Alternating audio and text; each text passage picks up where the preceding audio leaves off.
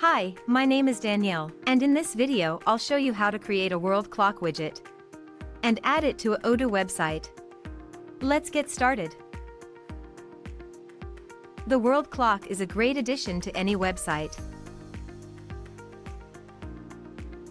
To start, enter Common Ninja website. Choose your widget from our large collection of widgets. And once you've entered the widget page, click on the Create button to enter the World Clock Editor. Here, in the editor, you can add and edit clocks.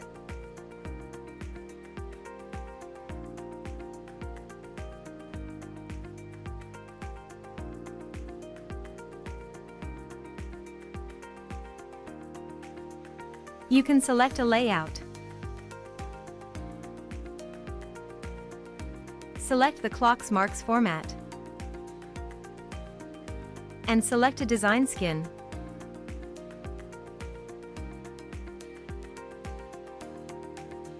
You can edit the clock settings.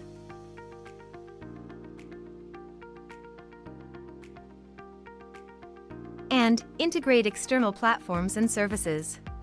When you're done, click the Save Changes button to save your work.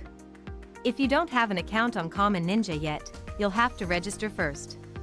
When you're ready to add the world clock to your website, go back to the dashboard. Now, on the dashboard, you'll see the widget you've created. Click on the Add to Website button. In the window that opens, copy the code.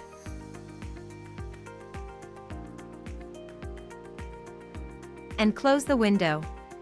Remember, you can always return to the widget and keep on editing it. Now, let's head to the Odoo editor.